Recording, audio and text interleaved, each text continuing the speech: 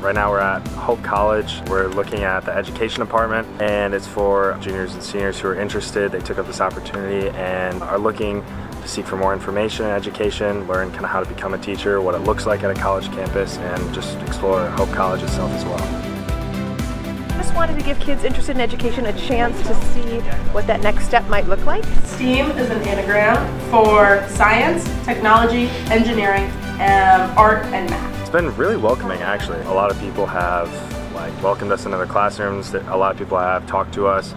Uh, just random people walking around. I am currently a TA for my biology professor. It's been a really like welcoming experience. It's been um, very interesting, lots of hands-on, like get to look around and walk around and stuff, so it's been great. We've got great counselors who helped us figure out students who have a career pathway of education and then fit as many as we could in the van to get experience at Hope to see what, it, what does it look like to be an education student. Uh, thankfully the department chair was able to give us time to talk about what it looks like to go through four years of an ed program and graduate with a elementary or a secondary teaching degree and then great experience talking to a former Hamilton student who's a senior and just listening to her story and the great experience she had um, and just her passion for teaching. So hopefully ignited a spark in these kids for pursuing that education degree. It's great. I mean, once you're done with high school, you really don't know where you're going sometimes. And trips like this where you can walk around and get more information on what you might want to be, uh, I think it's a great opportunity. I think a lot of kids should take up that opportunity.